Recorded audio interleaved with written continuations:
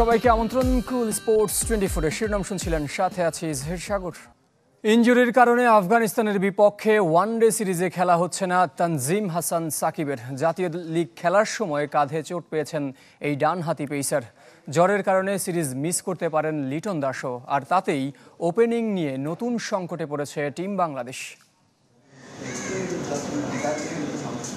দক্ষিণ আফ্রিকার বিপক্ষে টেস্ট সিরিজের ব্যর্থতার রেশ এখনও কাটেনি। অথচ নতুন মিশনের অপেক্ষায় টাইগাররা সাত মাসেরও বেশি সময় পর প্রিয় ফরম্যাট ওয়ানডেতে খেলতে নামবে বাংলাদেশ। প্রতিপক্ষ আফগানিস্তান। তবে আরব আমিরাতে তিন ম্যাচের সিরিজের আগে নতুন দুশ্চিন্তা ভর করেছে। সাকিব আল হাসান থাকছেন না তা নিশ্চিত করেছে বিসিবি। তার বিকল্প কে হবে তা এখনও অজানা। বাড়তি ব্যাটার নাকি বোলার অন্তর্ভুক্ত করা হবে তা নিয়েও চলছে হিসাব নিকাশ। তবে নির্বাচকদের মাথা ব্যথার আরও কারণ আছে। সাকিব আল হাসানের মতো আফগানিস্তান সিরিজ মিস করছেন পেসার তানজিম হাসান সাকিব। জাতীয় লীগ খেলার সময় কাঁধে চোট পেয়েছেন এই ডানহাতি পেসার।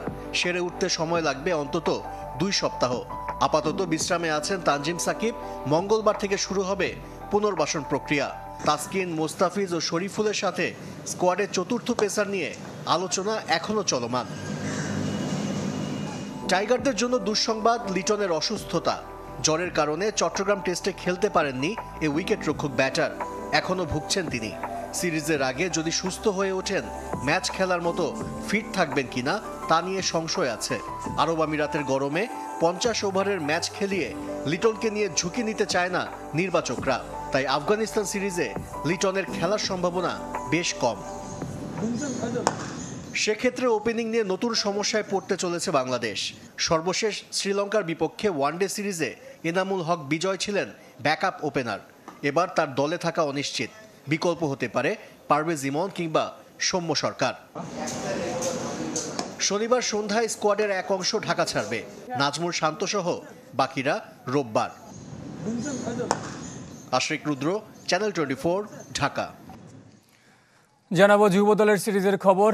আরব আমিরাতকে হোয়াইট ওয়াশ করেছে বাংলাদেশ। সিরিজের তৃতীয় ও শেষ ম্যাচে নয় উইকেটে জিতেছে স্বাগতিকরা।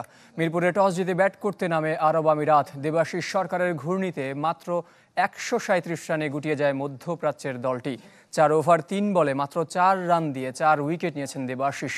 উদ্দিশ সুরির উইলে থেকে আসে সর্বোচ্চ উনত্রিশ রান। জবাবে মাত্র বিশ ওভার চার বলে লক্ষ্যে পৌঁছায় বাংলাদেশ। জাওয়াদ আবরার ও কালাম সিদ্দিকী দুই ওপেনারই করেন একচল্লিশ রান করে।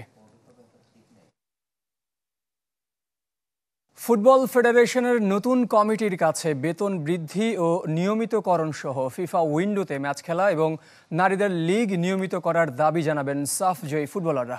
দক্ষিণ এশিয়া ছাড়িয়ে আরও বড় মঞ্চে নজর দিতে চান দুইবারের চ্যাম্পিয়ন অধিনায়ক সাবিনা খাতুন। সাবেক কোচ গোলাম রব্বানিকে ফেরানোর বিষয়েও ইতিবাচক তিনি। শিক্ষার্থী আরিন রিয়াদ শুক্রবার সকাল থেকে ফুটবল ভবনে। সাফজয়ী নারী ফুটবলারদের সাক্ষাৎ আর সেলফির লক্ষ্যে দিনভর অপেক্ষা। আশা পূরণও হয়েছে। সকালে আসছিলাম সাতটার দিকে তারপর নটার দিকে আবার চলে গেছিলাম। আবার সাড়ে দশটার থেকে এখন পর্যন্ত আসি মোটামুটি সবার সাথেই দেখা হয়েছে। সবসময় আমার ধ্যান ধারণা চিন্তা চেতনায় ক্রিকেট থাকে। তবে সাম্প্রতিক সময় তাদের বিপর্যয় আমাকে খুব ব্যথিত করেছে। তবে এই যে আমাদের মেয়েরা, আমাদের জন্য গৌরব বয়ে এনেছেন। আমরা আজকে দক্ষিণ এশিয়ায় শ্রেষ্ঠ। বুধবার চ্যাম্পিয়ন হয়ে পরদিন দেশে ফিরে ছাদ খোলা বাসে অভিবাদন পেয়েছেন সাবিনা, কৃষ্ণা সানজিদারা ব্যস্ত কয়েকটি দিন পেরিয়ে শুক্রবার নিজেদের মতো কাটিয়েছেন চ্যাম্পিয়ন ফুটবলাররা। নিজেদের কাজে কয়েকজন ভবন ছেড়ে বাইরে গেছেন, কেউ আবার বিশ্রামে কাটিয়েছেন। বৃহস্পতিবার ফেডারেশনের সাথে আর্থিক চুক্তি শেষ হয়েছে নারী ফুটবলারদের। নতুন কমিটির ওপর পরবর্তী সিদ্ধান্ত। তাবিতাওয়াল মাহফুজ আক্তাররা দেশে ফেরার পর সাক্ষাৎ পাবেন সাবিনা ঋতুপর্ণারা। জানাবেন নিজেদের চাওয়ার কথা, দক্ষিণ এশিয়া ছাড়িয়ে আরও বড় মঞ্চে নজর তাদের।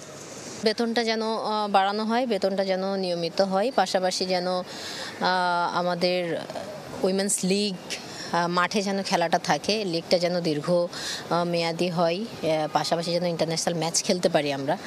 এবং অবশ্যই এই সাফের পরে আমি চাই না যে আসলে সাউথ এশিয়ার ভিতরেই আমরা পড়ে থাকি। আমরা যেন এশিয়াতে মুভ অন করি, সেটাই হচ্ছে আমাদের যেন টার্গেট থাকে। কোচ পিটার বাটলারকে রেখে দেওয়ার অনুরোধ করবেন কিনা সে প্রশ্নে ফেডারেশনের উপর দায়িত্ব চাপিয়েছেন সাবিনা তবে গোলাম রব্বানির জন্য ইতিবাচক দল। যেহেতু দীর্ঘদিন ধরে আমাদের সাথে ছিলেন এবং অ্যাজ এ কোচ হিসেবে ওনার সাফল্য অনেক সো ওনার ফিরে আসাটা অবশ্যই আমি ইতিবাচক দিক বলেই মনে করব। Foyzul Islam channel twenty Dhaka. এদিকে ফেডারেশন চাইলে আবারও নারী দলের দায়িত্ব নিতে প্রস্তুত গোলাম রব্বানী ছোটন। বাইরে থেকে দলে কল কাঠি নাড়া নিয়ে বিদায়ী হেড কোচ পিটার বাটলারের অভিযোগ উড়িয়ে দিলেও স্বীকার করেছেন মানসিকভাবে ফুটবলারদের উৎসাহ দিয়ে গেছেন তিনি। বিশ্বাস করেন, দেশকে আরও অনেক কিছু দেওয়ার সামর্থ্য রয়েছে চ্যাম্পিয়ন ফুটবলারদের। এবারের সাফে নারী দলের সাথে না থেকেও ছিলেন গোলাম রব্বানী ছোটন। আলোচনায় বিতর্কে সাফল্যে। বাইরে থেকেও দলে কলকাঠি নাড়ছেন। তার বিরুদ্ধে তোলা পিটার বাটলারের এমন বিস্ফোরক মন্তব্যের জবাব দিয়েছেন টুর্নামেন্ট শেষে। ওনার সাথে আমার তেমন পরিচয় নেই। তো এই সমস্ত যদি উনি বলে থাকে, এটা হলো আপনার সম্পূর্ণ আপনার ভুল ধারণা থেকেই বলছে। সাবিনার সাথে আমার, আপনার গেমের দিন ও দোয়া চাইতো। তো তখন আমি এইটুকুই আমার বলা ছিল যে তোমরা তোমাদের আমাদের হলো দেশের জন্য খেলতে হবে, আর নিজেদের বেশটা খেলতে হবে, নিজেদের অস্তিত্বের জন্য খেলতে হবে। ছোটনের এনে দেওয়ার সাফল্য ধরে রেখে বিদায় নিচ্ছেন ইংলিশ কোচ বাটলার। গুঞ্জন, আবারও জাতীয় দলের দায়িত্বে ফিরতে পারেন সাবিনা কৃষ্ণাদের এই প্রিয় গুরু। তা অবশ্য উড়িয়েও দেননি গোলাম রব্বানি। ন্যাশনাল টিমে কাজ করা হলো একটা হলো আপনার গৌরবের ব্যাপার।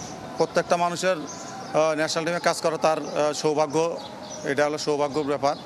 তো এখন পর্যন্ত আমার কাছ সাথে কোনো আলাপ হয় নাই বা কোনো কিছু ই হয় নাই। তো যদি কখনো কোনো অফার আসে তখন আমি চিন্তা ভাবনা করে দেখব। প্রস্তুতির ঘাটতি সিনিয়রদের সাথে হেড কোচের প্রকাশ্য দ্বন্দ্ব আর পাহাড় সম প্রত্যাশার চাপ। বাংলাদেশ দলের সাবেক এই কোচের কাছে প্রতিকূল পরিবেশেও চ্যাম্পিয়ন হওয়া মেয়েদের পরিণত হওয়ার প্রমাণ। হ্যাঁ আমাদের মেয়েরা যে আপনার আগের থেকে আপনার মানসিকভাবে তো অনেক পরিপক্ক হয়েছে এবং তারা ম্যাচুর হয়েছে এটার প্রমাণ এবার আপনার টুর্নামেন্টে আপনার তারা রেখেছে।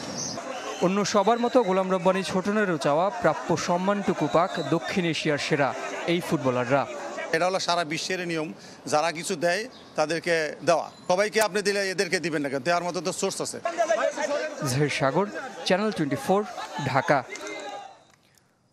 মালদ্বীপের বিপক্ষে দুই প্রীতি ম্যাচের জন্য শুরু হলো বাংলাদেশ দলের ক্যাম্প। সকালে টিম হোটেলে রিপোর্ট করেন ফুটবলাররা। বিকালে হয়েছে ক্লোজ ডোর অনুশীলন।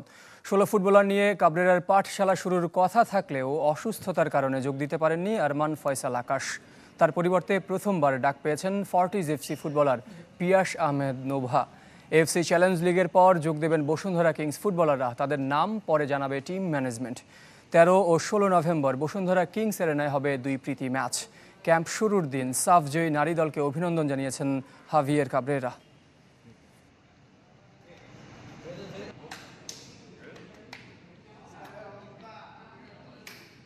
আমাদের ন্যাশনাল টিমেও আমরা এইটা আমাদের যদি বেশি বেশি করে যদি আমরা যদি আরও ম্যাচ খেলতে পারতাম, আরও যদি আমাদের ক্যাম্পিংটা দীর্ঘ পরিকল্পনা যদি আমরা করতে পারতাম, তাহলে আমি মনে করি যে আমরা আরও ভালো রেজাল্ট করতে পারব। আমাদের এক্সপেকটেশনের যে জায়গাটা আমরা আপ টু দ্য মার্ক যেতে পারতেছি না, আমাদেরও ইচ্ছা আমরা সাপ জিতবো ইনশাআল্লাহ। কিন্তু এই বোনাস সম্পর্কিত বিষয় যে মেয়েরা পারতেছে মেয়েরা বোনাস নিচ্ছে এইটা ছেলেরা নিতে পারতেছে না। এই দিক থেকে কোনো আফসোস নেই। We will have around 10 training sessions before the first game. নিজেদের প্রস্তুত করার জন্য আমরা দশ বারোটা সেশন পাব। আমরা জানি মালদ্বীপ প্রতিপক্ষ হিসেবে কতটা চ্যালেঞ্জিং তবে জয় ছাড়া বিকল্প কিছু ভাবছি না। এবার জানাবে এফসি চ্যালেঞ্জ লিগের খবর। আজ আবারও নামছে বসুন্ধরা কিংস। প্রতিপক্ষ ভুটানের ক্লাব পারো, থিম্পুর চাংলি মিথান স্টেডিয়ামে রাত নয়টায় শুরু হবে এই ম্যাচ। টানা দু ম্যাচ হেরে এরই মধ্যে গ্রুপ পর্ব থেকে বিদায় নিশ্চিত হয়েছে বাংলাদেশ চ্যাম্পিয়নদের। প্রথম ম্যাচে লেবাননের ক্লাব নিজমের কাছে এক শূন্য গোলে, আর পরেরটিতে অস্কার ব্রুজনের ইস্ট বেঙ্গলের কাছে চার শূন্য ব্যবধানে বিধ্বস্ত হয়েছে কিংস। আসরে এখন পর্যন্ত কোনো গোল করতে পারেনি তার দল। গ্রুপ এর প্রতিপক্ষ স্বাগতিক পারো জয়হীন দুই ম্যাচে এক ড্রয়, টেবিলের তিনে ভুটান চ্যাম্পিয়নরা পয়েন্ট শূন্য কিংস তলানিতে।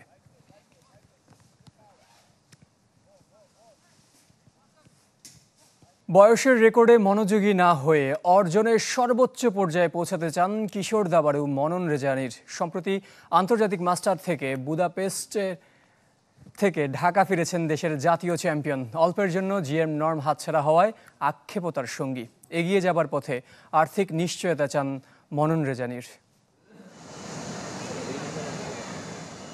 মনন রেজানির চোদ্দ বছরের এই কিশোর দাবারু বর্তমান জাতীয় চ্যাম্পিয়ন। সম্প্রতি হাঙ্গেরি থেকে ফিরেছেন সুখবর নিয়ে দেশের কনিষ্ঠ আন্তর্জাতিক মাস্টার তিনি। বুদাপেস্টে অলিম্পিয়াড সহ খেলেছেন চার টুর্নামেন্ট, তৃতীয় আইএম নর্ম মিলেছে। আধা পয়েন্টের জন্য হাতছাড়া হয়েছে জিএম নর্ম।